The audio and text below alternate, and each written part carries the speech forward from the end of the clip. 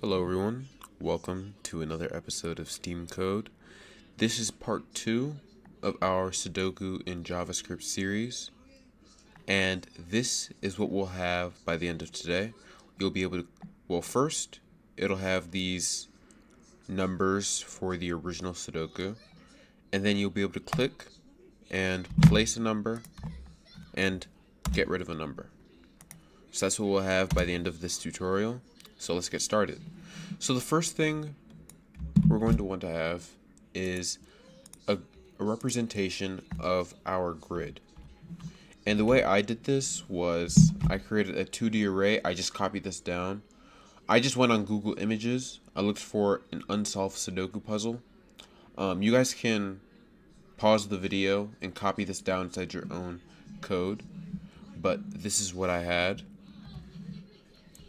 And then now moving on, after you guys have copied that down, we can now start setting the original values in the Sudoku based on the grid. Alright, so the way we're going to do this is we're going to have two for loops within each other. So for var x equals 0 x is less than 9, x plus plus. Inside of this, we're going to have for var y is equal to 0, y is less than 9, and y plus plus. And then if grid x if grid xy is not equal to 0. So if it's an actual number, because as you can see here, the zeros correspond to the empty spaces. So if grid xy is not equal to 0, then we're going to create a variable called id, and that's going to be equal to hash symbol plus x plus y. And then we're going to set,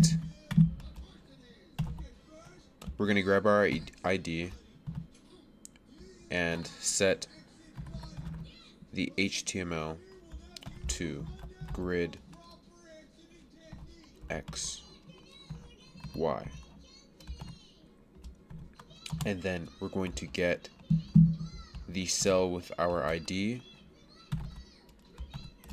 We're going to set the attribute of data original to true. I'll explain all of this once I'm done with this last line. And then we're going to set the CSS and the font weight will be set to bold so you're able to differentiate between these and the numbers that you place. Alright, so in this line we created the ID and the ID is significant because as you remember from part one, our for each cell has an ID starting from 00, 0 all the way to 88. This is 00, 0 and this is 88. And so we go through, we go through for each ID, if if the grid number that corresponds to that ID is not equal to zero, we set that ID or we set that cell with the number that's inside of this grid array. And we also make it bold and we set the data original to true. And data original just specifies that this is an original number not placed by the user.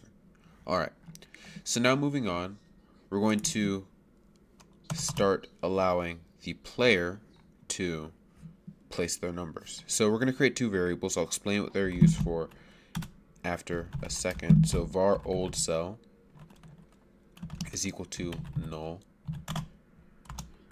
And var new cell is equal we're just gonna create var new so we're not gonna initialize it. And so here we're going to be setting the key codes to the respective cells. So we're to grab the element that has the class of cell so that's all of these cell elements.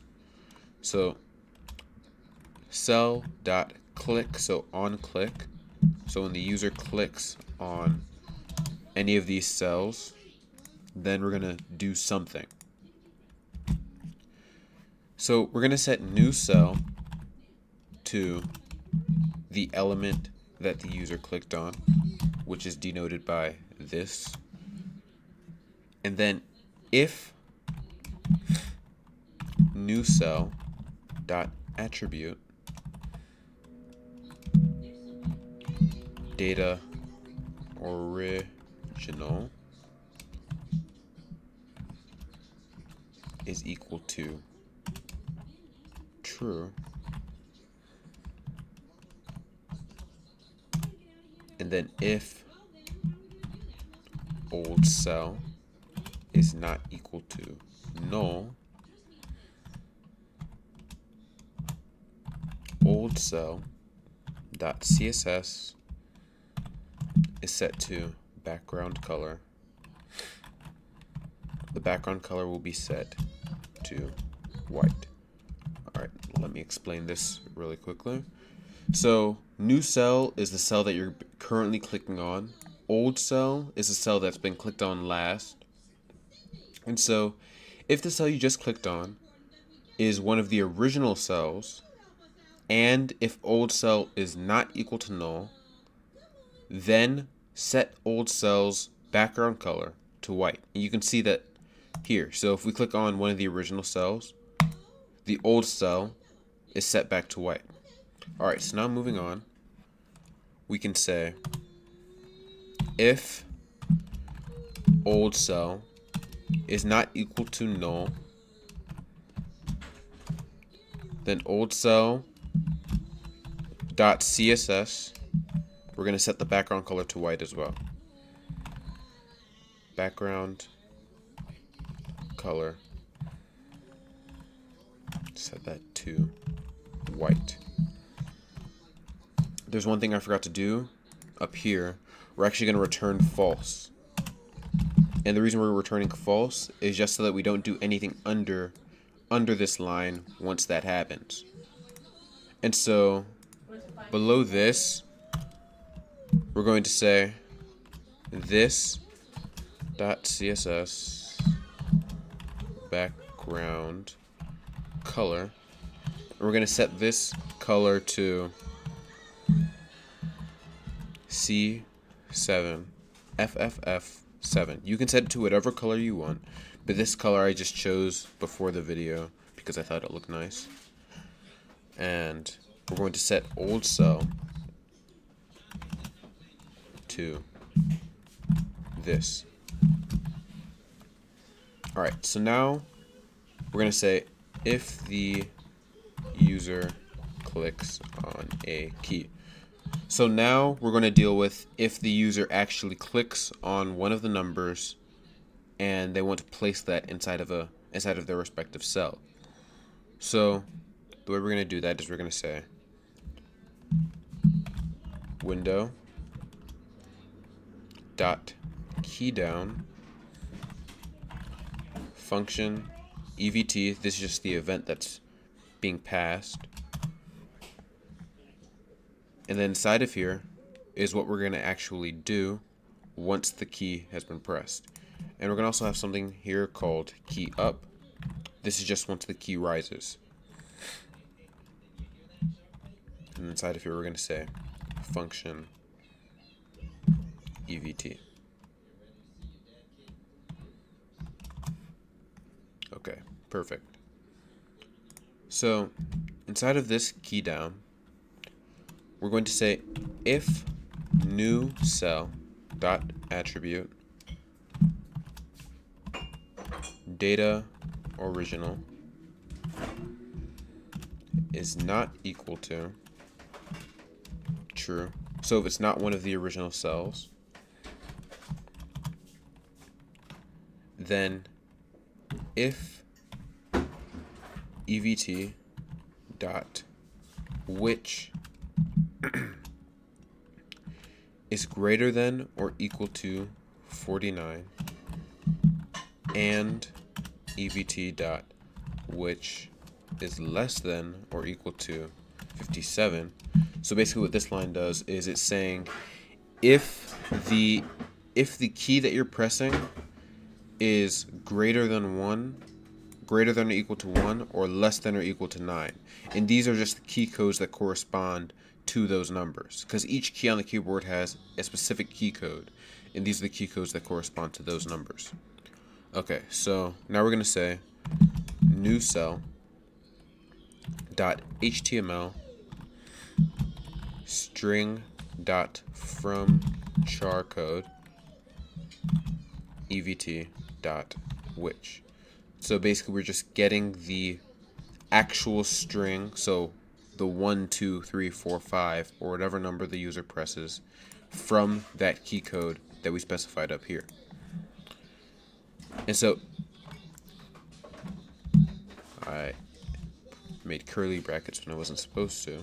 Okay so we're going to create two variables var x equals cell dot attribute id dot substring 0 1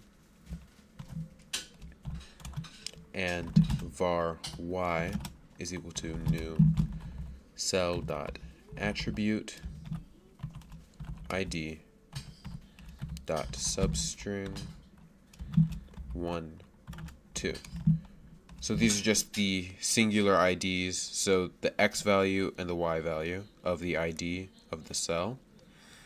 And then we're going to say grid X Y is equal to string dot from char code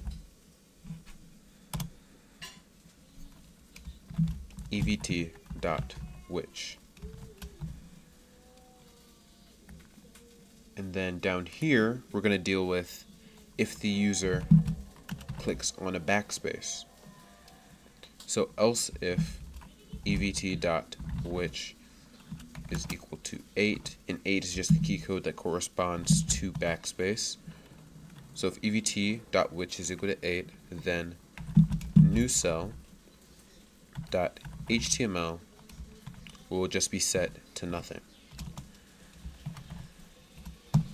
Perfect. So now let's actually test our program. So reveal in File Explorer. So now it's open. So this is how it looks like. So far so good. We're able to create numbers and place them inside of here. And we're also able to get rid of them with pressing backspace.